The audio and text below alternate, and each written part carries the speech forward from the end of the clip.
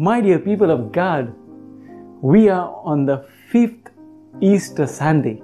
The Gospel reading gives us the new commandment of Jesus to reflect upon. Jesus says, Love one another as I have loved you. And if you love this way, everyone will know that you are my true disciples.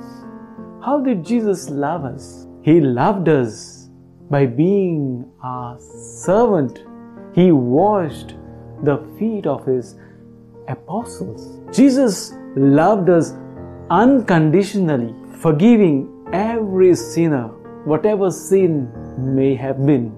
He forgave unconditionally every sinner. Jesus loved us by dying on the cross. His love is of the highest form of love, wherein he says, I die for you so that you may live.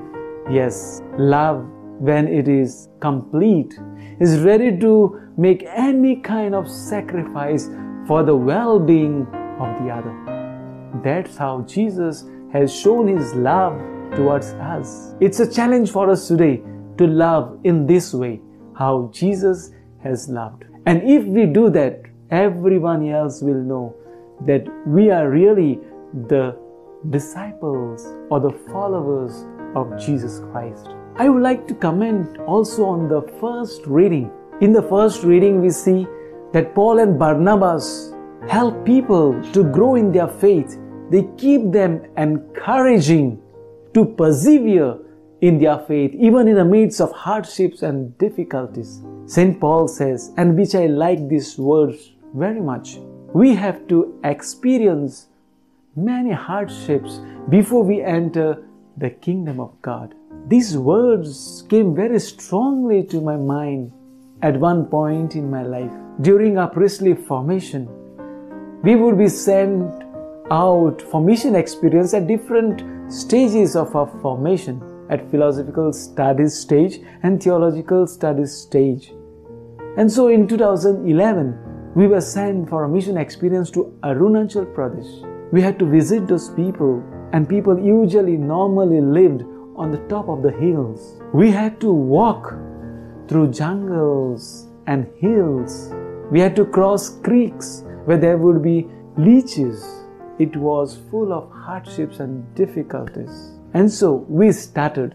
It was a journey of nine hours. We had to go to a place called Ranghil. We set out. We walked for five hours and we took rest in one village called Hetman, the village that we get on the way. And then we set out the next morning after taking good rest to reach to our destination. And after walking another three and a half hours, I got the first glimpse of that village, Ranghil. And I said, Wow, such a beautiful place. It's really like heaven. I forgot all about my hardships and difficulties that I had on my way all this while. It gave me complete joy. And these words of St. Paul of today's reading came to my mind very powerfully. And the words of Jesus in the Gospel of Matthew, where Jesus says, We need to walk through narrow gate to reach the kingdom of heaven. Narrow is the path that leads to life, which means that leads to eternal life, to the kingdom of God. My dear people of God, in the journey of life, we need to persevere in our faith in order to reach to our eternal home, to our destination. On the way, on the journey, we will be having lot of difficulties, hardships. To live a true Christian life would not be so easy. This will be all mingled with persecutions, hardships, and that could arise at any moment in our life. And if we persevere in our faith in the Lord Jesus Christ, we will enter life, eternal life.